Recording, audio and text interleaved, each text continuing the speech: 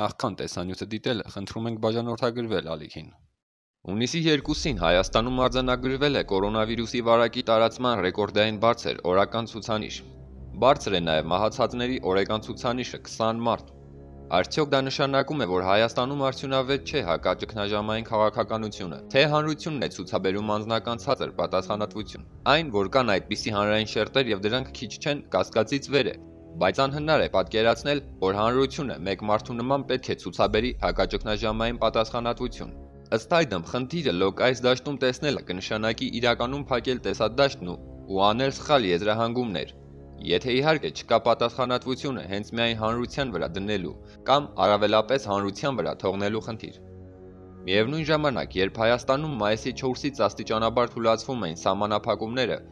օրական վարակի դինամիկան ամենևին նվազող չէր, այլ հակառակը աճող էր։ Ըստ այդմ կասկածից վեր է, որ սահմանափակումները թուլացնելը բերելու էր ավելի մեծ աճի։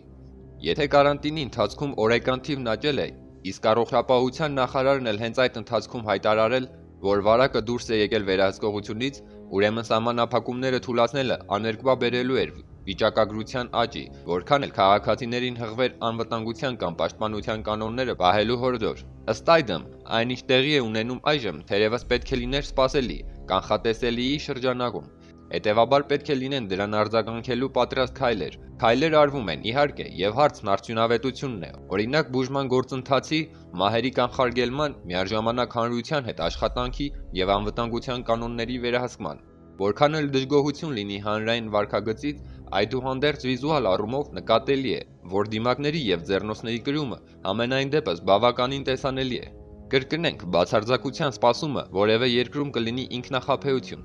Ներկայումս գերխնդիրը առողջապահական կարողությունների հնարավորինս արագ ավելացումն է, հնարավորինս շատ կյանքեր փրկելու տեսանկյունից։ Մեծ հաշվով թող չհնչի տարօրինակ, սակայն հակաճգնաժամային պայքարի ցուցանիշը գնահատելու համար դեռ պահանջվելու են ամիսներ։ Ամենայն դեպս, քանի դեռ չկա պատվաստանյութ եւ չի առաջացել այսպես ասած ամփոփելու զրոյական վիճակ, ակնառու է, որ ներկայումս կա համընդհանուր պատկեր, որը հեռու է իրականությունից։ Ըստ այդմ, այսօր գերխնդիրը կենտրոնացնել ամբողջ ռեսուրսը առողջապահության կարողությունների ընդլայնման եւ մահերի կանխարգելման վրա։ Իհարկե, շարունակելով անվտանգության միջոցառումների հսկողությունն ու դրանք կիրառելու հանրային սոցիալական քարոզչությունը։